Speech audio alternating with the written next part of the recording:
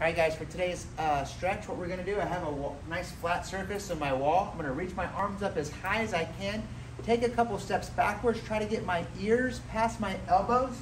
So arms up, take a couple steps backwards. My arms never move, my elbows are locked. I'm gonna drive forward, getting a nice stretch in these lats.